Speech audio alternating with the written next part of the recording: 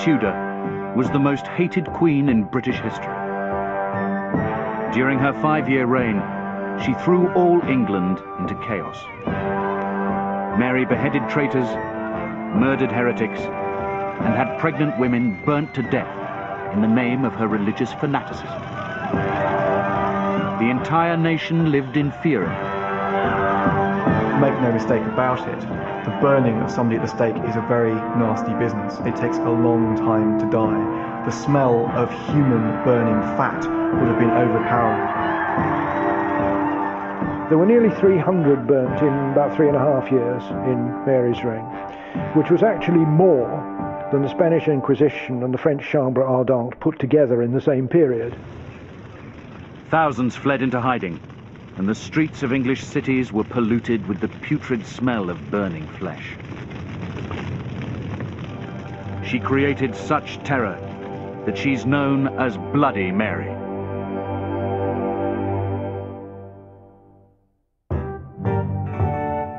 Mary Tudor was born at Greenwich in 1516.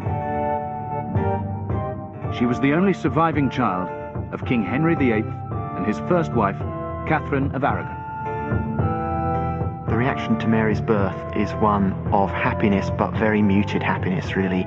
People were not cheered up by the fact that the child that was born and lived was a daughter.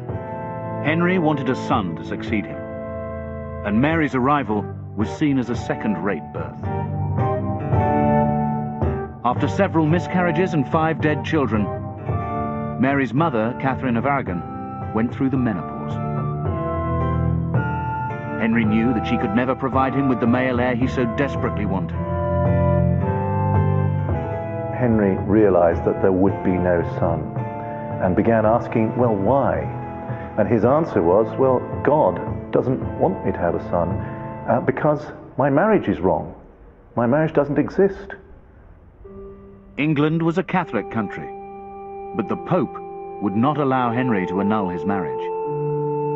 Henry broke from Rome and declared himself the supreme head of the new Church of England.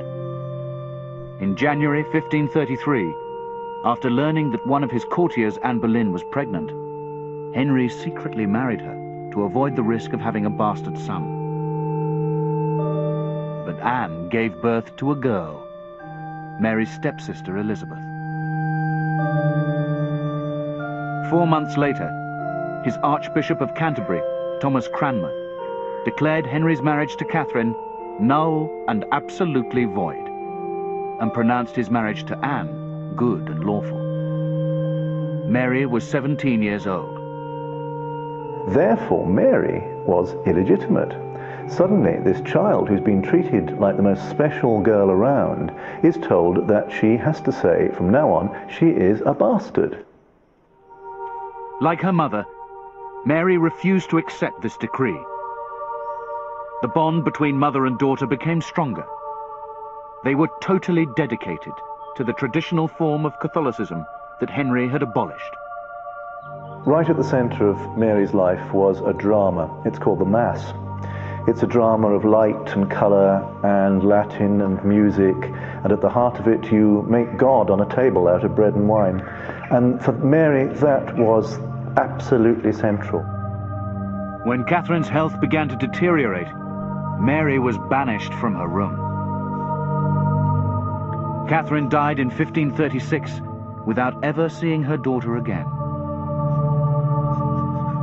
Mary finally signed her father's act of succession in the same year, but she didn't hide her hatred of Anne Boleyn. I think Mary is pushed aside by Anne Boleyn, there's no doubt about that. She would have regarded, as her mother regarded Anne Boleyn, as what the Spanish ambassador always calls Anne Boleyn, which is the whore. She is very um, obstinate, very difficult. I mean, that comes out very clearly in her conflict with her father and in her relations with Anne Boleyn.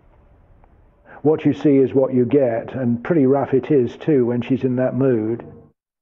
Now in her early 20s, the constant psychological strain began to take its toll on Mary's health. It's a period of enormous stress for her. Um, I mean, she has menstrual problems anyway, almost from the word go, and they get very much worse. Her disfavor with her father led Mary to live in fear of her life. There are rumours in 1534 and 1535 of Mary's execution. The rumours are circulating amongst the ambassadors and amongst Mary's support network at court. Certainly, Mary has a profound fear of being poisoned, and this fear never really leaves her. Mary's fragile physical and mental state took a further blow when Henry finally had a child with his fourth wife, Jane Seymour, in 1537. Henry VIII at last has his long looked for male heir, and there is tremendous rejoicing at court. And there's tremendous rejoicing all over England as well.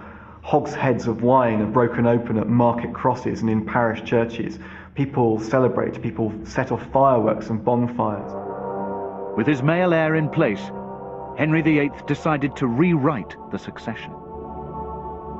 Obviously, the person who would succeed would be his son, but what would happen after that? Well, he did have these two bastard daughters, Mary and Elizabeth, and so Henry decided he'd get the succession tidied up in the order Edward first, then Mary, then Elizabeth. Henry VIII died in 1547 when Mary was 34. Her brother Edward became king at the age of nine under the protection of Protestant advisers. He's a young, healthy, vigorous prince, but he's also a convinced Protestant. He's a serious evangelical. He is far, far more Protestant than Henry VIII has ever been. I think Mary is drastically shocked by the direction that Edwardian religious policy takes. Churches are being whitewashed, statues and stained glass windows are being taken out, Protestant doctrines being officially preached in the church, and the Mass is replaced with a service in English, and it's that that sparks Mary's really conspicuous disobedience to the government of her young brother. During Edward's reign, I think she must have felt that this was it, there was no future, and there would be no chance that her beloved world, her religion, anything would survive the, the, the entire Protestant revolution which Edward was carrying out. The years of stress and illness had turned Mary into a pale, bitter woman. Her faith became her obsession. On several occasions, Edward sent deputations to persuade Mary to accept his new religion. Sticking to her religious principles, she refused to bow to her younger brother's demands. The Mass, the sacrament of the altar, is central to her personal faith. And it's, it's Edward's council, it's the heretics who try to get rid of that. That is why she hates heretics. Her stand was supported by the Spanish monarchy, who were burning Protestants at the stake for rejecting Catholicism. But in England, these heretics were in power. There seemed no chance of returning to the Catholic faith while her brother was on the throne. Edward suddenly became ill in 1553, and the royal succession was again thrown into chaos. As Edward VI is lying dying, he is fully aware that he is facing a crisis. It looks strongly as if the only option for the succession is for Mary to come to the throne. Mary, as we know, has battled against Edward to retain the Mass in her own household. So, this pious little Protestant evangelical king is faced with all his work being undone, the temple being rent asunder, Catholicism returning to England. And so he inaugurates a plot. Edward's advisers proposed Mary's Protestant cousin, Lady Jane Grey, as heir to the throne. Supported by the Archbishop of Canterbury, Thomas Cranmer, Lady Jane ruled for only nine days before Mary, who had won the support of London, took the throne. She was not going to let her one and only chance to rule pass her by. So what made people want Mary and not Queen Jane? Well, it was actually blood. They wanted Henry VIII's blood, and that was Mary's slogan, I am Henry VIII's daughter. Jane isn't. Uh, the interesting thing is that Mary did not mention religion. She didn't say a thing about religion, and that was quite deliberate and quite clever because she was being supported now by Protestants as well as Catholics. both sides rallied to that sort of Stalin like memory of Henry, the power of the old king, and that's what got her to London in um, under a fortnight. In July 1553, Mary Tudor was 37 years old when she was crowned Queen of all England at Westminster Abbey. She was determined to restore the Catholic allegiance and to punish those who'd made her last 25 years a misery. The same year, she cemented her ties to Catholic Europe in a marriage of alliance with King Philip II of Spain. Philip must have been a little um, crestfallen, shall we say, at the thought of marrying Mary. She was older. She was notoriously not much fun. She marries at the age of 37. She's an old maid by that time. Uh, and I think that screwed her up quite considerably as well. For the Protestant nobility, it was hard to accept a female Catholic queen, but impossible to accept a foreign Catholic king. Within months of taking the throne, a large-scale Protestant rebellion was crushed by Mary. She decided to show her enemies how swift her Catholic justice would be. So there are hangings. A number of the rebel leaders are dispatched. The Duke of Suffolk is executed. Poor little Jane Grey, the nine days queen, is now executed as well. Um, there is a fear at one stage that Princess Elizabeth herself may be facing execution. Um, certainly, this is a rumour being reported by the ambassadors at the time. And a number of the rebels from Kent are sent back to their shires and hanged in their own home parishes in order to discourage future rebellion. Now she was queen. Mary would return her country to the Catholic fold by all means necessary. Protestant England was about to experience the revenge of Mary Tudor.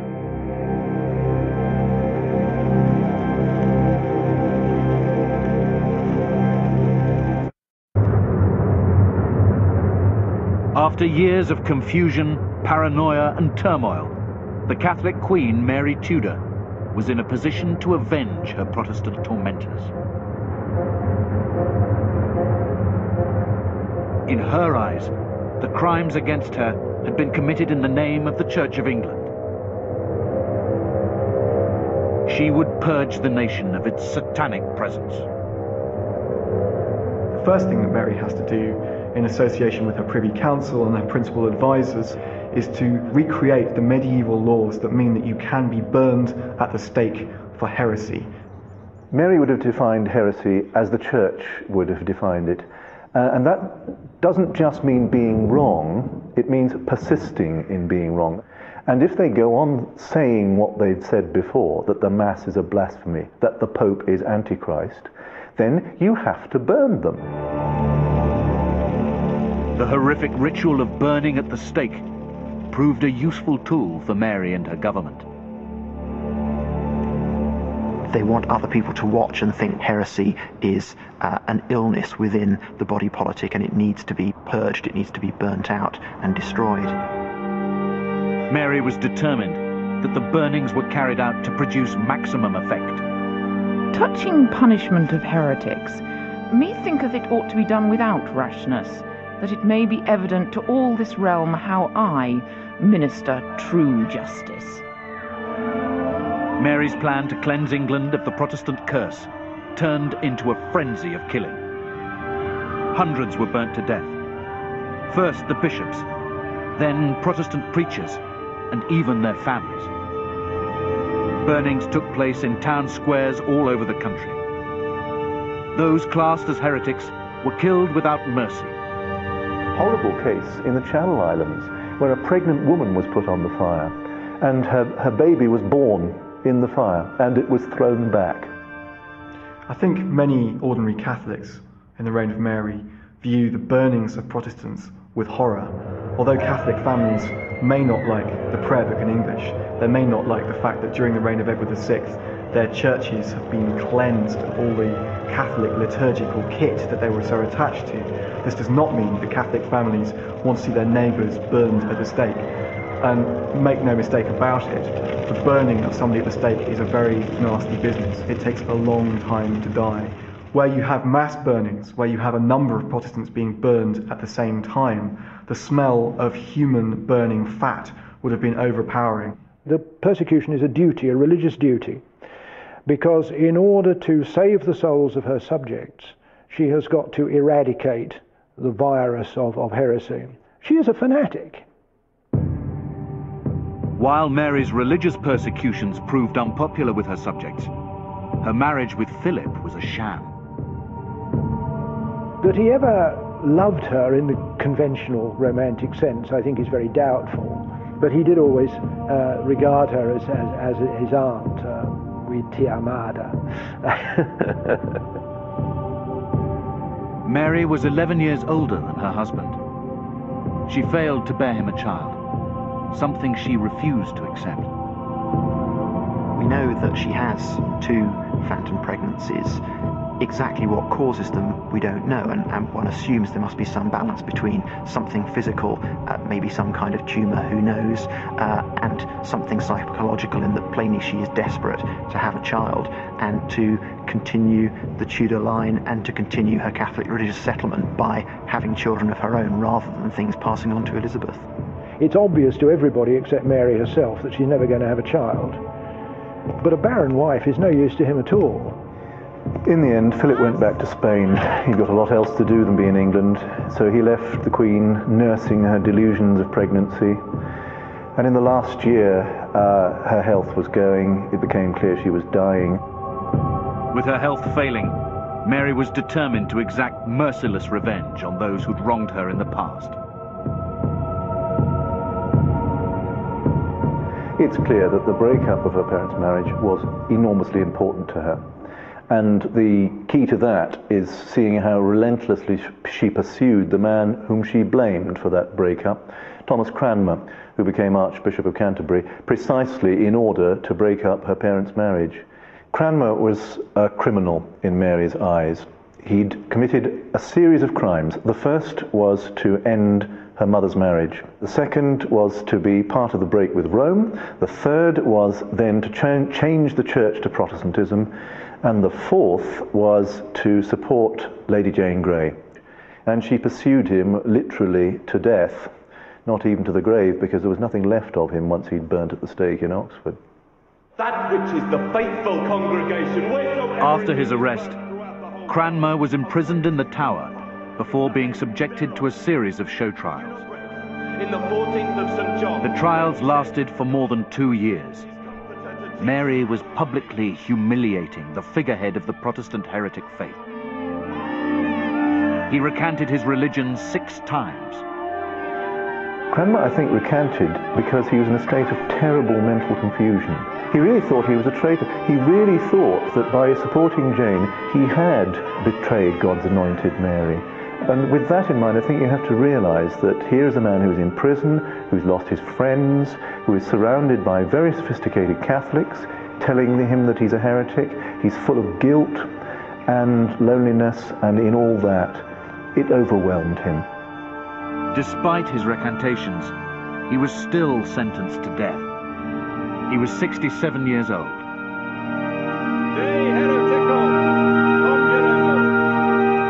Before he died, he was publicly shamed as a Protestant heretic.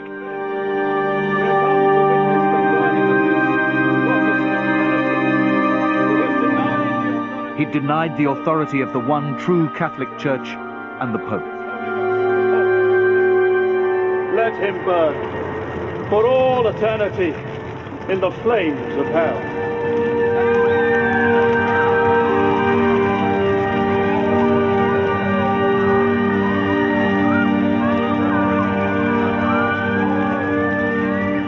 Burnt at the stake in Oxford in May 1556. Mary would simply not let him off the hook. He had done everything that the church demanded. He had said that he was a heretic. He had said that he was sorry for being a heretic, and he still died. Even at the time, people thought this was bad form. Catholics were embarrassed about it, and the government's explanations, which they put out as propaganda, were not very convincing. There were nearly 300 burnt in about three and a half years in Mary's reign, which was actually more than the Spanish Inquisition and the French Chambre Ardente put together in the same period. Mary's policy had a catastrophic effect. The nation united against her. Now, this is a very unequal policy, I think, because it falls particularly on those who can't get away into exile. So we find that the poor are suffering, popular preachers, even the blind, women, pregnant women are all burned at the stake. Protestantism suddenly becomes a credible religious movement. And the rank and file Protestants who've been looking at what was going to happen, they say, this is real conviction. You don't die unless you are really convinced. You certainly don't die in that kind of way. Horrible death. And therefore, you begin to get other people prepared to go down the same road. And as soon as that begins to happen, the government is trapped. After five years of tyranny, Bloody Mary had become a hated monarch. Mary is unpopular because of her marriage. Um, because of the religious persecution. Most important of all, her regime loses its credibility when she fails to have a child. It is clearly going to come to an end when she dies. The ill health that had troubled her from childhood finally caught up with Mary. As she lay dying, her country was falling apart. A flu epidemic swept through the cities, and England's last foothold in Europe, the fort of Calais, was lost to the French. Now, those events are read in a providential way by Protestant critics, that these disasters show that God uh, is condemning Mary for her policies. And Mary herself, although she didn't accept that, of course, was worried that she must have done something to upset God. I think she felt she'd been a failure. Mary Tudor, Queen Mary I, died in 1558 at the age of 43.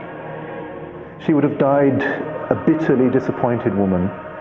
No heir, her husband had gone. The Catholic faith was at an end. Protestantism would come back now. Within months of Mary's death, her sister, Queen Elizabeth I, had united the nation under a Protestant regime. The Church of England remains dominant to this day.